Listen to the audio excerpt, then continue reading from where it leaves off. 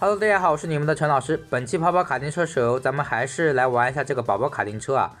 那么这个车的话，上期视频我也是说过了，打个人道具赛混分的话还是不错的啊。因为这个车呢，后来居上的能力很强啊，又能防普通导弹，对吧？而且的话呢，被水蚊子命中的时候，百分百会获得这个氮气啊，所以说他也不用担心自己落后太多。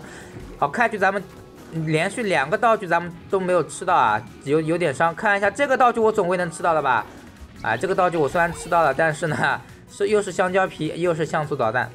看一下这个道具是什么，一个水蚊子，好，直接放出去啊。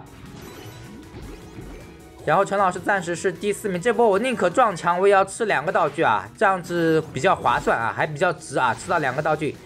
好，这个道具是一颗导弹，好，直接射出去。那么这一波受到水蚊子。进攻被水蚊子命中的话，咱们百分百会获得这个氮气啊！但是受到了一个星爆，被转了一下，有点难受。看一下前面这个道具能不能抢到呢？好，抢又抢到一一个氮气，直接加速冲上去。看一下前面能不能踩到加速云，加速云踩到了。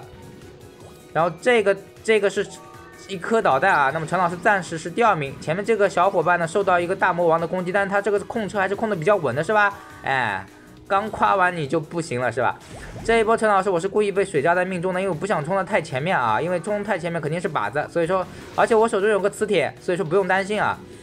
看一下这个道具是一个水蚊子，咱们直接放出去。这一波的话又能拿到一个白嫖氮气了。那么陈老师这边磁铁先用掉，前面被这个巨型香蕉皮旋转一下，但没有办法，啊因为这个巨型香蕉皮这个目标太大了。那这一波陈老师又是受到攻击啊，暂时又又是落后了。